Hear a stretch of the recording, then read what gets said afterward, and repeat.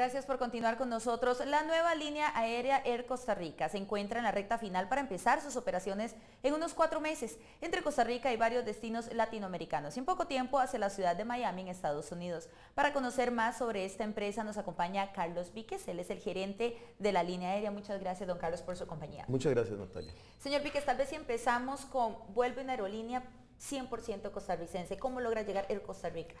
Bueno, nosotros habíamos pensado en el año 2008 en la constitución de una nueva aerolínea costarricense. Sin embargo, dada la recesión económica que se vivió en ese año, eh, los planes se tuvieron que posponer. Es así como nuevamente se retoman en el año 2012 a través de eh, mi persona con empresarios panameños y en el 2013 empezamos nuevamente a preparar todos los manuales que se requiere en un proceso de certificación eh, para ser presentados a la Dirección General de Aviación Civil. La elaboración de dichos manuales nos llevó un plazo de 10 meses y fue así como el 21 de mayo del 2014 se presentó la solicitud formal tanto para el otorgamiento del certificado de explotación como los manuales para el otorgamiento del certificado de operador aéreo y las especificaciones y limitaciones de operación. Cumplimos con las cinco eh, fases que lleva el proceso y habiéndose cumplido con la última fase ahora en el mes de julio anterior, se convoca a la audiencia pública de ley, que es el último trámite establecido por ley, y es así como el día de hoy, en esta mañana, a las 10 de la mañana, eh, tuvimos la audiencia sin oposición alguna. Esas audiencias usualmente se celebran para que cualquier parte interesada, ya sea que quiera apoyar o que se quiera oponer, eh, hagan los alegatos del caso. La audiencia nuestra fue muy rápida y gracias a Dios este, simplemente fue cumplir con un requisito. Si bien la ley establece que en los siguientes 30 días a la celebración de la audiencia, el Consejo Técnico de Aviación Civil tiene que resolver en definitiva nosotros creemos que en este mismo mes de agosto nos van a otorgar el respectivo certificado de explotación. Señor Víquez, esto es tiempo récord en definitiva y todo ese peso se lo echó usted. ¿Por qué la necesidad de buscar algo que fuera costarricense? Mire, esa ha sido una decisión tanto de los socios como de la Junta Directiva. Eh, siempre se habló que el 100% del personal debía ser costarricense precisamente para volver a rescatar el calor humano que se sentía cuando en ocho horas se viajaba en la empresa, en la línea aérea nacional.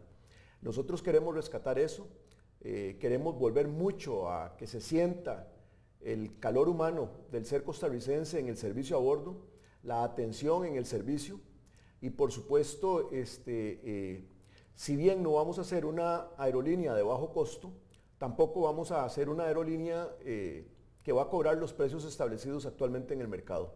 Vamos a estar en un punto intermedio en donde Adicionalmente le vamos a ofrecer al pasajero la posibilidad de comida caliente a bordo en vuelos de más de hora y 30 y por supuesto open bar para cualquier tipo de bebida, ya sea licor, jugos, refrescos, etc. Cuénteme sobre la flotilla, ¿ya está todo preparado? Está todo preparado, vamos a contar inicialmente con dos aeronaves 737-300 y con, con capacidad de 130 pasajeros y con dos aeronaves Fokker 100 de 100 pasajeros. ¿Qué le ofrece Air Costa Rica al costarricense y al centroamericano? Bueno, básicamente al costarricense le ofrece volver a rescatar el orgullo de ver eh, sobre los aires una bandera de Costa Rica. Y al centroamericano y al pasajero y al usuario en general del transporte aéreo, la posibilidad de ser atendido como ser humano, como persona, eh, que se sienta satisfecho y que quede comprometido con el primer vuelo que realice para seguir volando con nosotros. Evidentemente el mercado en aerolíneas está bastante complicado, muy cerrado, son muchas las aerolíneas que ahora están presentando vuelos y más que todo a Centroamérica, Costa Rica y demás, de hecho hoy se presentó una hacia el, otro continente. ¿Qué tipo de boletos se van a ofrecer? ¿Qué vuelos van a realizar? ¿Qué horarios van a tener? Bueno, eh, Vamos a tener, por ejemplo, eh, la operación San José-Miami directo en una aerolínea costarricense. Ya no hay que hacer una escala intermedia eh, o viajar en las empresas americanas. Pues si se quisiera lo pueden hacer. Pero vamos a ofrecer un mejor servicio que el que le puede ofrecer cualquier aerolínea en el mercado. Eh, vamos a salir de Costa Rica a las 9 de la mañana hacia Miami. Por supuesto, esta ruta nos interesa mucho, pero tal vez es la que vamos a demorar más en llegarla a operar porque una vez que nos certifiquemos en Costa Rica, tenemos que empezar a elaborar la misma documentación que se presentó acá junto con la certificación eh, consular de la resolución que nos otorgue aviación civil para ser presentada tanto en Estados Unidos como en cada uno de los países donde pretendemos operar. Las rutas van a ser vuelo diario San José-Panamá, vuelo diario San José-Managua-Guatemala, vuelo diario San José-Miami, vuelo diario San José-Bogotá y vuelo diario San José-Guayaquil y Lima. Esa es la primera fase, porque esperamos en dos años estarnos extendiendo tanto a Los Ángeles como a Nueva York y posteriormente a algunas eh, ciudades del cono sur.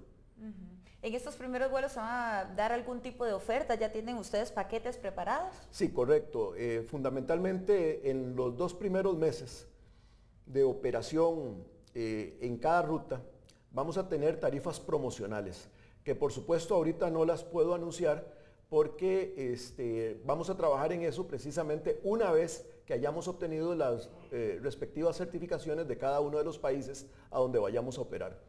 El tema de tarifas eh, es un tanto eh, de, análisis puesto que influye mucho lo que es el costo de combustible y los costos de aeropuerto, no solo en Costa Rica, sino en los otros aeropuertos. Entonces, hasta que ya tengamos la definición de los costos, por ejemplo, de, que, de lo que nos va a cobrar Miami, entonces ya nosotros podemos contemplar cuál tarifa es la que vamos a cobrar. Y estamos seguros que van a ser muy buenas tarifas entonces para que todos los costarricenses y centroamericanos puedan viajar. Así es, van a ser tarifas mucho mejores que las que hay actualmente en el mercado. La mejor de las suertes con Air Costa Rica. Muchas gracias, muy Muchas gracias por su visita a CB24. Vamos a estar muy pendientes de esas tarifas. Por el momento continuamos con más después de esta pausa.